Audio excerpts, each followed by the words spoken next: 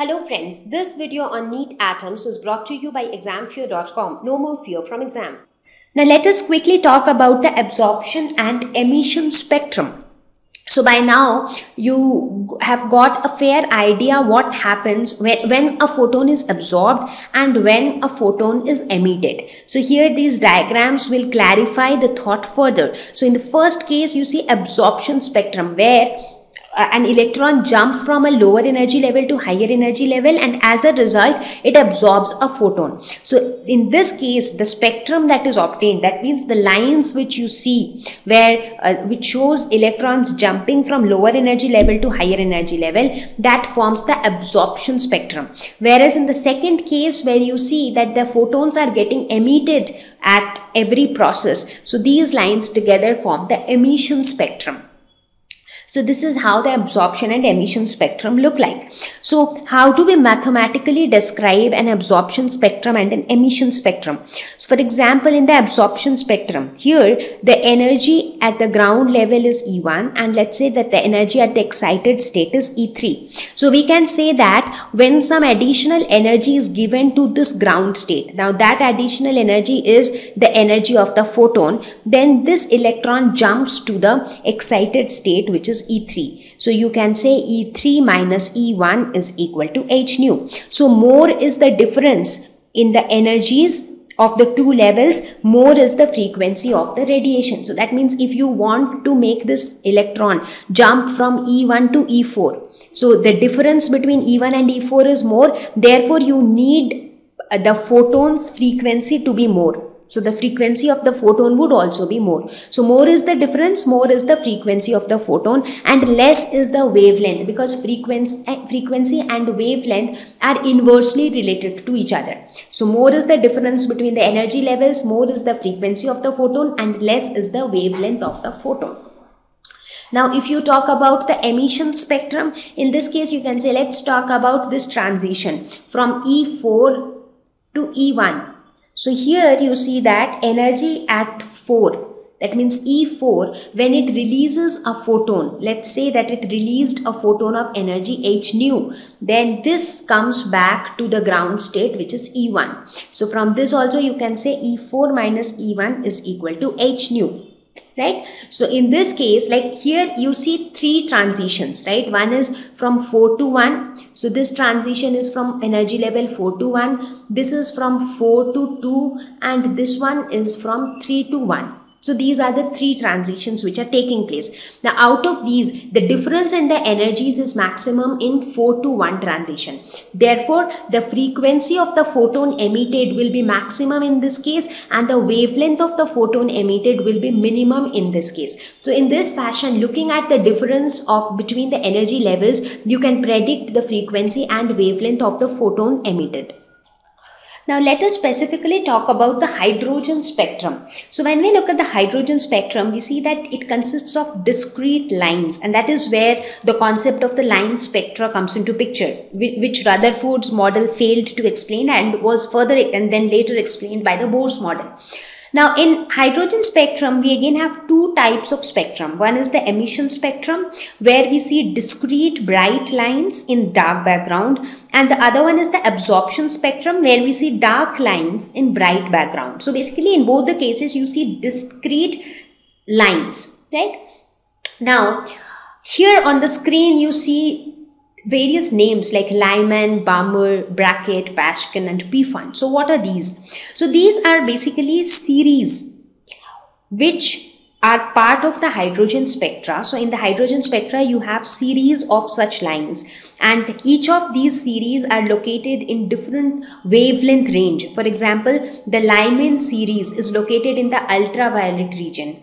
The Balmer series is located in the visible region. Brackett, Paschen and Pfund, they are located in the infrared region. So how, how are they located in these different regions? Because they have different range of wavelengths and there were different scientists who actually discovered these series and that is why these series are named after their discoverers.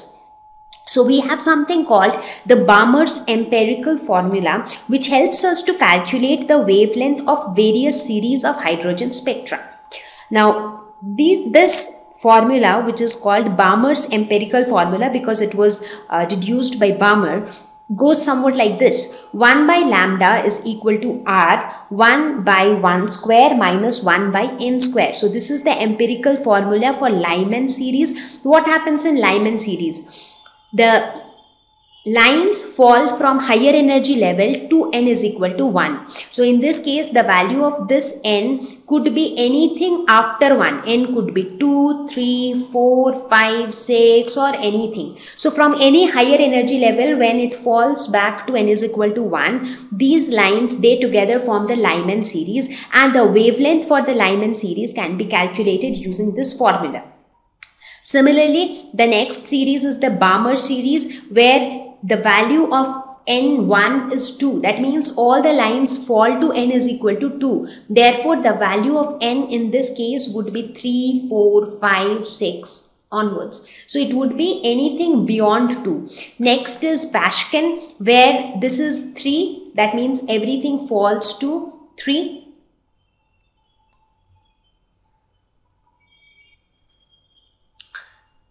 so this is basically Paschen and this one is Brackett and this is Pfund. So in this fashion here the value of n could be n could be 4, 5, 6 onwards anything. Similarly Brackett and Pfund right so in this fashion using these empirical formula you can easily calculate the value of wavelength now if you actually calculate the value of these lambda you would see that the lambda for Balmer series it lies in the visible range similarly the lambda for Lyman series it lies in the ultraviolet range and so on so that's about the hydrogen spectrum now let us quickly talk about X-rays. Now what are X-rays? I mean, where do you use this term X-ray? Many times when you get a fracture in some part of your body or sometimes you are having severe backache and the doctors advise you to get an x-ray done. And what is that x-ray? When you get an x-ray done, it, it gives a picture of the internal structure of that body part right so what is so special in x-ray that the rays are able to penetrate inside your body and you know get an image of it so how does that happen?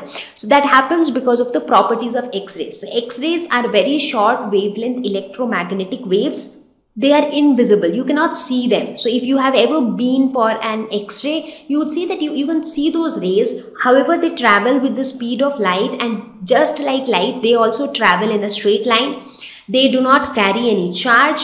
They affect photographic plates and this is one reason why we are able to take x-rays of different body parts because on the photographic plates you see that impression right? So that that is possible because the x-rays are able to affect the photographic plates. Now when you look at the x-ray spectrum it again consists of sharp lines. In fact we talk about the KLM series of x-rays. So what are these different series of x-rays? Now if we talk about the K series of x-rays it means that if now, how are X-rays produced? Normally, when electrons moving at high speed, they strike a target.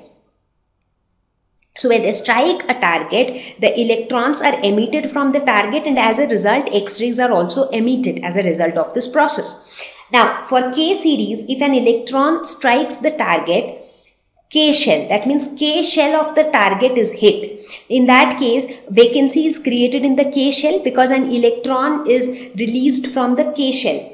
So immediately an electron from some outer shell, maybe L, M or N, jumps to fill that vacancy in the K shell. And as a result, X-ray is emitted. Because we know that whenever an electron from any outer energy level, whether it is L, M or N, whenever an electron jumps to K shell, what happens?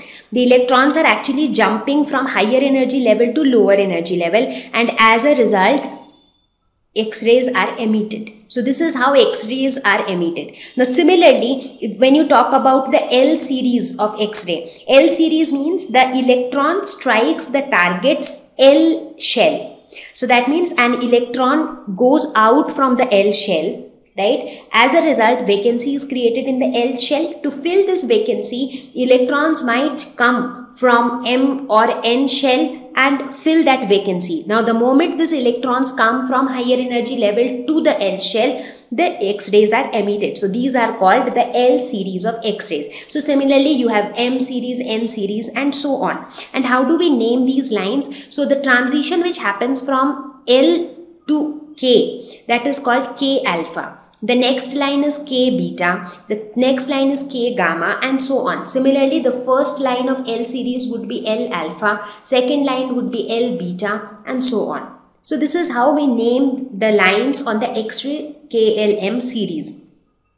And the characteristic wavelength depends on the nature of the target material. So looking at this energy level diagram, you can say that the energy at the K level is greater than L, is greater than M and so on. And how do you calculate the characteristic wavelength? So this the formula is again similar to the empirical formula of uh, the hydrogen spectrum. It is 1 by lambda is equal to R Z minus B whole square 1 by N1 square minus 1 by N2 square if the transition is taking place from N2 to N1. So here B is a constant and that is why we say that the wavelength that is lambda depends also depends on the nature of the target material. Thank you. Please visit examfear.com for free quality education. You can learn with a simple four-step learning process wherein you can watch video lessons, you can ask your questions, you can refer notes, and you can take a free online test. We have content for class 6 to 12 on physics, chemistry, mathematics, and biology along with practical videos. So please subscribe to our channel for daily updates. Thank you.